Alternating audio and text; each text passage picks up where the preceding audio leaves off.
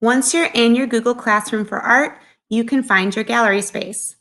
To do that, scroll down and find the post that says gallery space and click to open that post. And here you'll see it says gallery space at the top.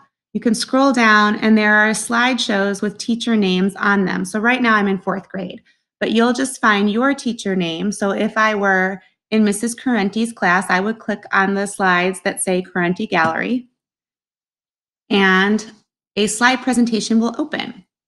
Go over to the left side of the screen and scroll to find your class number. So if I were uh, number seven in my class, I would click on slide seven. And I know that that's the slide I'm working on because I can see that it's highlighted in yellow. Once you've clicked on your number, go over to the title bar of your slide and click to add your name. So you can just add your name. If you want to make it more of a title, you can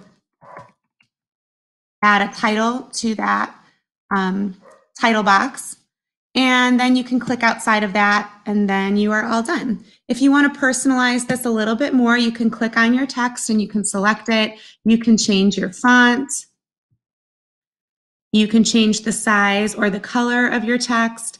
As long as it's readable and I can see it and you can see it, then you can label this in whatever way looks good to you. And that's how you find your gallery space.